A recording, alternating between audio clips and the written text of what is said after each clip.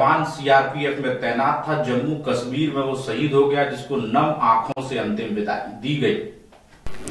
कश्मीर के पुलवामा में रविवार को आतंकियों ने सुरक्षा बलों की टीम पर हमला कर दिया था। आतंकी हमले में फरुखाबाद के सीआरपीएफ के जवान शहीद हो गए। बताया जा रहा है कि स्थानीय पुलिस और सीआरपीएफ के जवान नाके पर चेकिंग कर रहे थे। इसी दौरान आतंकियों ने सुरक्षा बल की टीम पर हमला कर दिया। घटना गुलू क्रॉसिंग इलाके के आतंकी हमले के बाद सुरक्षा बलों ने मोर्चा संभाला और आतंकियों के खिलाफ कार्रवाई की जा रही है। शहीद हुए सीआरपीएफ के नायब सूबेदार विनोद कुमार पाल, तिरपन वर्ष कायमगंज क्षेत्र के नगला विधि के मूल निवासी हैं। कुछ महीने से उनका परिवार कायमगंज के मोहल्ला दत्तू नगला नई कॉलोनी में रहने लगा है। पिछले महीने ही 24 जून को बीस दिन की छुट्टी बिताकर ड्यूटी पर गए थे। छुट्टी के दौरान उन्होंने अपनी पत्नी सुमन का ऑपरेशन कराया था। आतंकी हमले वो जख्मी हुए अस्पताल ले जाते समय रास्ते में दम तोड़ दिया।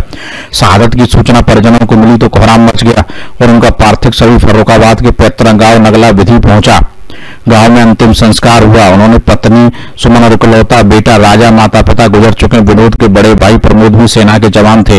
पिछले साल सेवानिवृत्त होकर गाँव में खेती करते हैं। विनोद ने बेटे को भी सेना भर्ती कराने के लिए सीडीएस की परीक्षा दिलाई थी। मई में परिणाम आए। आतंकी हमले से कुछ मिनट पहले ही नायब सूबेदार विनोद कुमार पाल ने बेटे राजा से फ़ोन किया था और सभी का हालचाल पूछा था।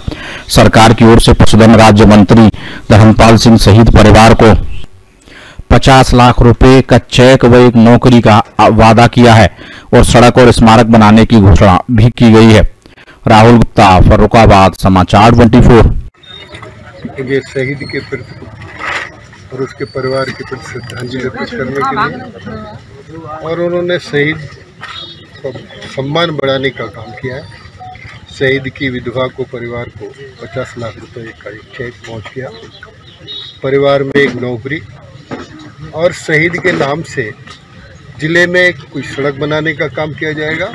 परिवार के लोगों ने अभी इच्छा व्यक्त की कि यहाँ स्मारक बना दिया जाए हम स्मारक भी बनवा दें।